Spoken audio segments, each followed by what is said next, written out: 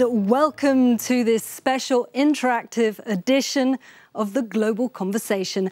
I'm joined by the European Commission President, Jose Manuel Barroso. He's just delivered his State of the Union address, and we'll be talking about that, but also the issues that matter to you most. We've had loads of questions coming in on our social media platforms. Mark Davis, who's our online editor, has been tracking those. Mark, what can you tell us? Well, I'm monitoring the reaction on the social networks. I'll be taking some of the comments and the questions posted by people online, and I'll be putting them directly to President Barroso. Now, when this interview ends on air in about 20 minutes, it continues online in a Google Plus Hangout, a kind of video web chat. And joining President Barroso in that will be our panellists, who you may be able to see down here. They've got things they're very keen to ask him, but anyone can ask a question. Just use the hashtag AskBarroso and I'll try and ask it. Thank you very much, Mark, and thank you, President. Now, we want to go straight to Syria. Do you echo the scepticism and caution that's been sounded by the US regarding the Russian plan on chemical weapons? Uh, we believe it, uh, we should try it.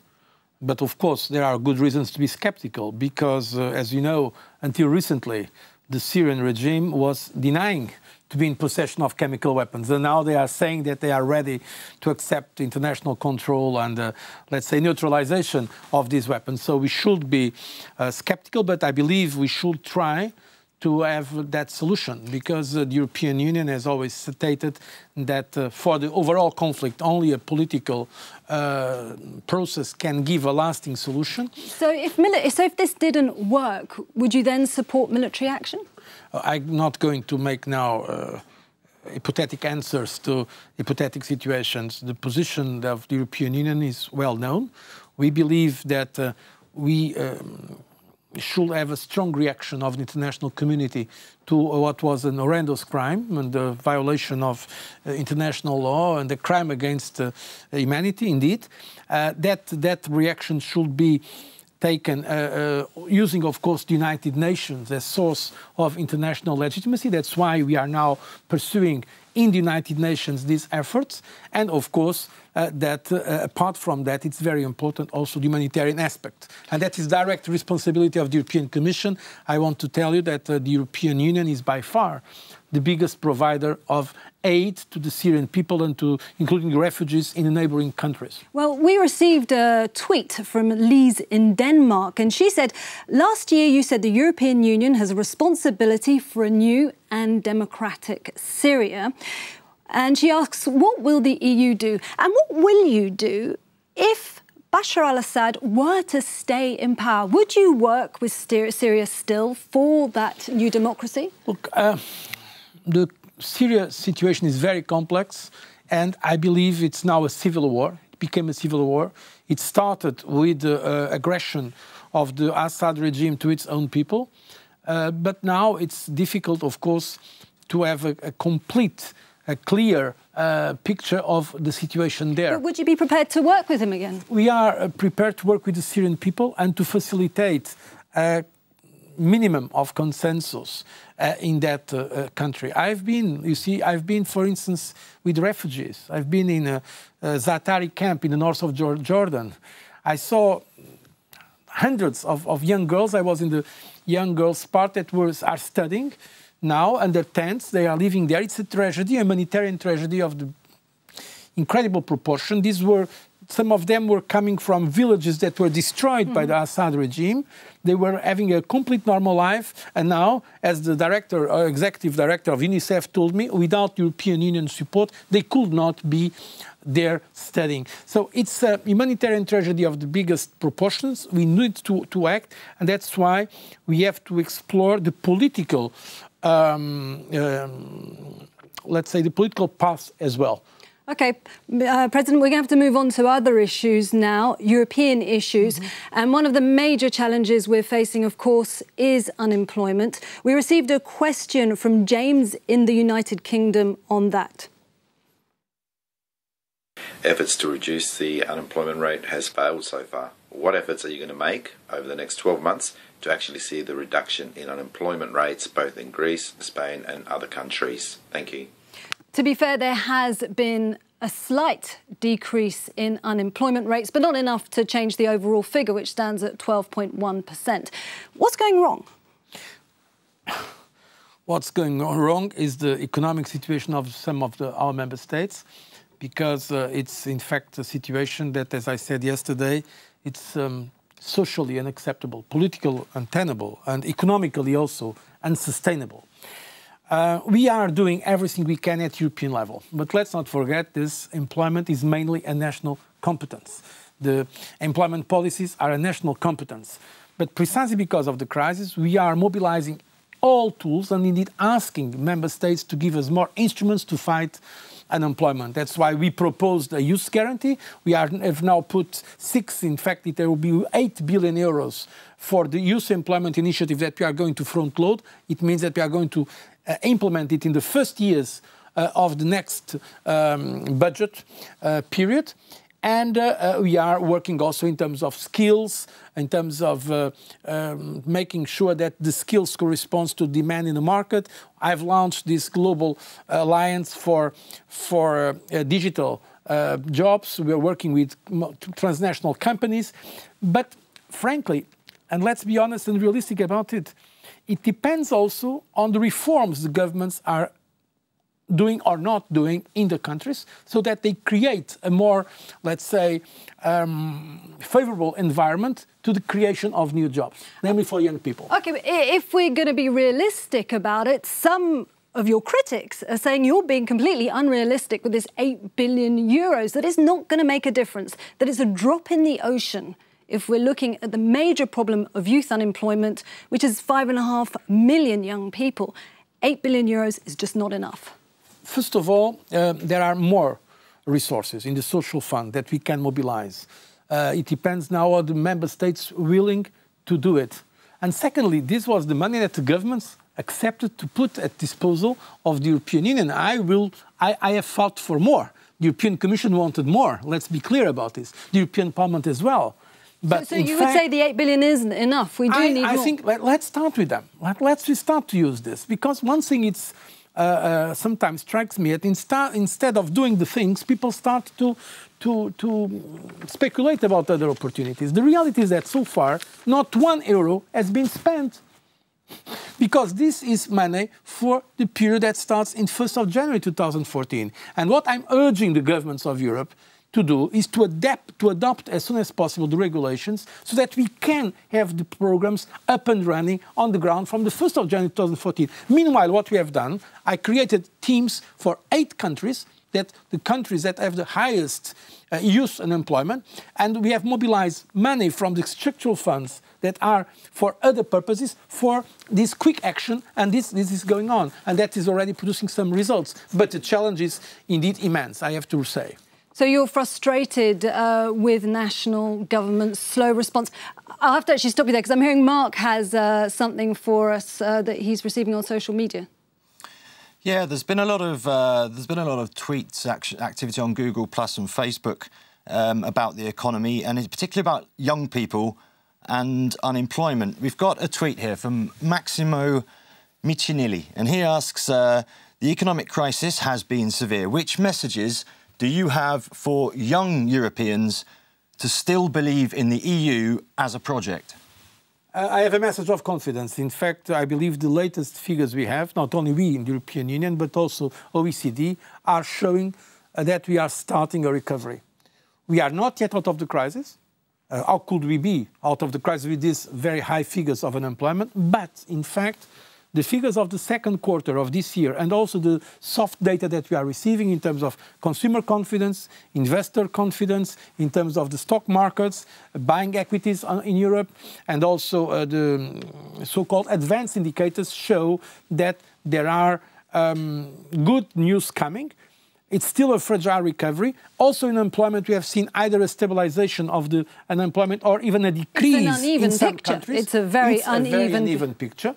But that's why we are pushing the governments to make the necessary reforms, because some of them, in fact, uh, have been successful in this fight against unemployment. A, a, concrete example vocational training is very important. At the same time that we have many young people unemployed, we have many firms that are asking for people in, with uh, uh, ICT competencies. There is uh, a demand for people to work in the health sector. So there is a, a mismatch. We have also created a portal in the European Union called EURES that puts precisely the information available of jobs that are available in the European uh, market. You mentioned the growth, but the growth rate is, as you said, small, it's 0.3%. percent And many economists are saying that is not sufficient to reach escape velocity out of this crisis. That we are going to see anemic growth and therefore minimal impact, impact on unemployment. 0.3 for the quarter. So if we analyze it, it's quite.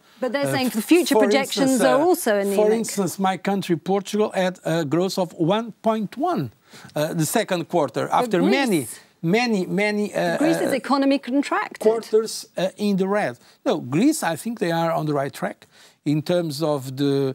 They are expecting a primary surplus. So I believe uh, we have to recognize the huge sacrifices made by the Greek people.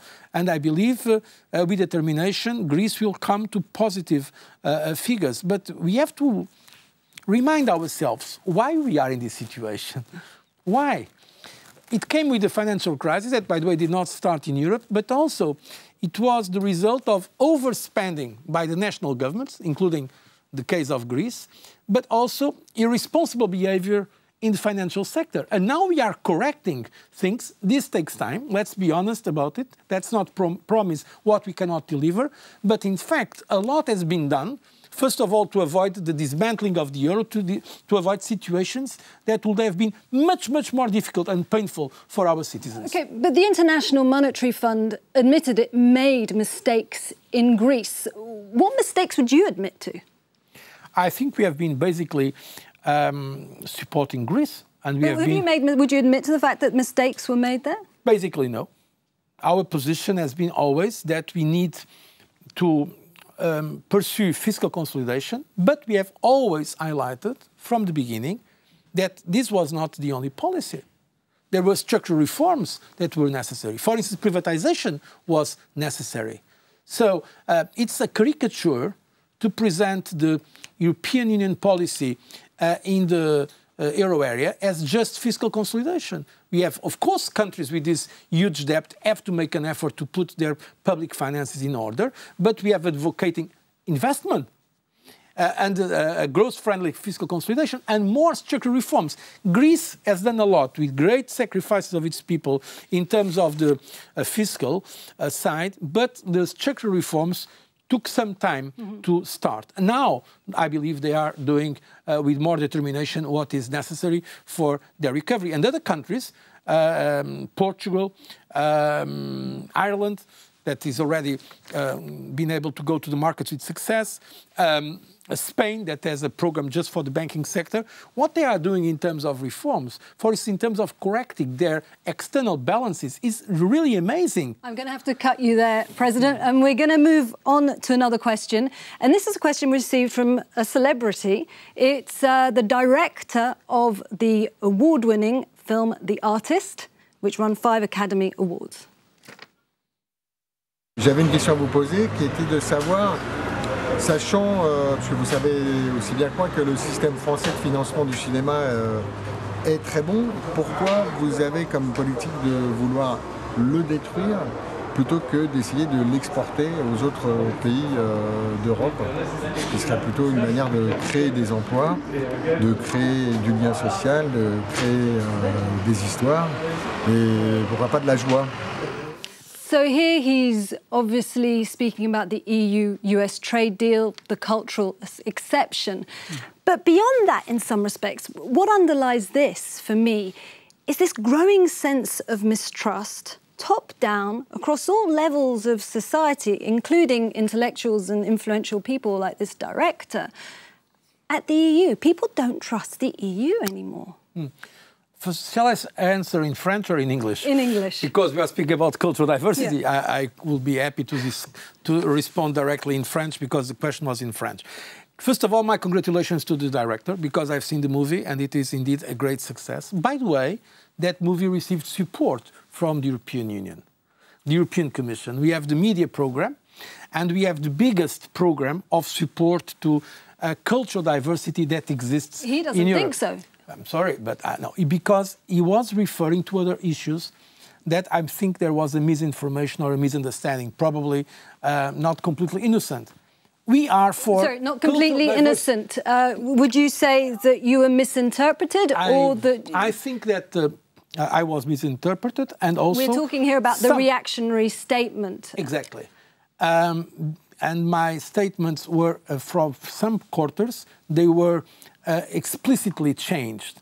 I have never said that uh, uh, um, it's reactionary, uh, the French system. On the contrary, I support the cultural diversity. What I said is that some arguments against globalization are reactionary because they don't take in consideration the evolution of the world and the opportunities that also globalization offers us. So, but one point I want to make clear nobody defends more cultural diversity than the European Commission. What And about we the have sense of never- mistrust? We have never proposed to eliminate cultural diversity Okay. from the negotiation the United States. Let's move on to the next issue of mistrust, though.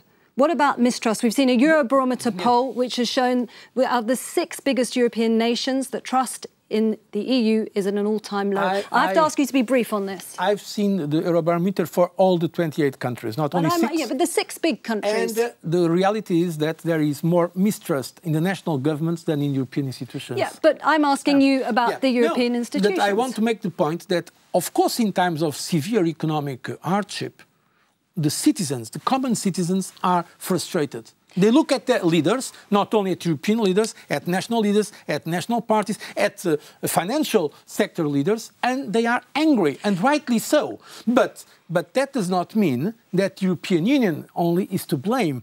That means that there is a, a real crisis, an unprecedented crisis that creates problems that we are trying to address, and I'm making the case explaining what we are doing, what we can do, also what we cannot do, and I think this is the serious answer. Of course, I'm aware of the dissatisfaction with the uh, citizens regarding the European Union, but if you look in the But do you, same, take, did you, do you take? You said take a certain amount of responsibility for that. of course, all of us have a responsibility, and I'm ready to, to assume that responsibility. Mark is coming back to us, I think.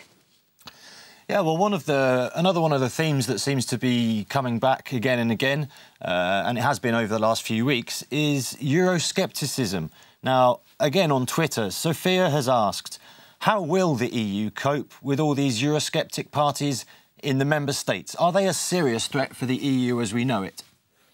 I think it depends on the other parties and on those who are in favor of Europe. Uh, and precisely, I'm asking the, uh, those who are in favor of Europe to come out, to stand up and defend what uh, Europe means, what uh, Europe can do to help uh, citizens solve their problems. But I believe, uh, being more concrete, that in next European elections, the political forces, the moderate political forces from the center left to the center right, that are basically pro-European, will keep a You strong think- majority. You don't think there'll be big Eurosceptic gains as has been predicted? They may be gaining some ground, yes, but I believe the huge majority of the Europeans uh, will remain uh, very much uh, in the pro-European side. We're very short of time, but uh, I did get a question on Twitter, which I was going to ask you anyway. And uh, that was from Victor in Ukraine. And he's asking Would you like to stand again for a third term as Commission President? Now, obviously, would you, if you given the chance? Uh, look, um, yes or no? I have not thought about myself in this matter. Would you we like- have, I have one year more of mandate, more than one year. One year uh, is an eternity. I think two mandates of five years is already a lot. Mm-hmm. And I think everybody, even the critics, recognize that it has been extremely tough times for all of us. But I don't want now to speak about myself. I think the time now is to roll up our sleeves and not to throw in the towel. So I'm focused on what we have to do for Europe and not on my personal, uh, let's say, future after uh, next year. We've got seconds left now. I just want a very quick answer here. If uh, Europeans are to look back at a concrete achievement you have left them with, in your time in office as Commission President, what would it be? many. From the climate policy to protect our planet, that is the most ambitious policy in the world, that I'm very happy because some people are still denying that there is climate uh, change, to uh, concrete issues like, for instance, reducing the roaming charges for people that uh, uh, travel, and namely, during the crisis, to avoid countries like Greece or Ireland or Portugal to become insolvent because in that cases to have to go out of the euro because in that case well, we, we will be in a real much more dramatic situation. Okay, well we're going to have to close this chapter of the global conversation. Now we've got our next chapter, which is about to open on Euronews.com. Mark Davis is there with his panel of Europeans who are raring to go to challenge you. So please join us in that next chapter of the global conversation.